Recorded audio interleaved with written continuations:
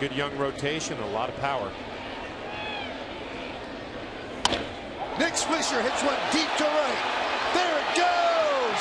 See ya. A two-run home run. It's 10-5 Red Sox. The Yankees with their fourth home run of the night.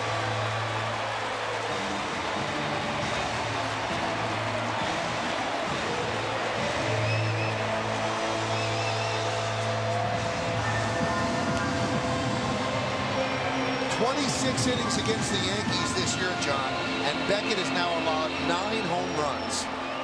Well, Beckett not afraid to challenge some Yankee hitters early in the count. It's a first pitch fastball. Not a whole lot of movement down the middle of the plate. Nick Swisher takes care of it. Home run number 28, a two run shot.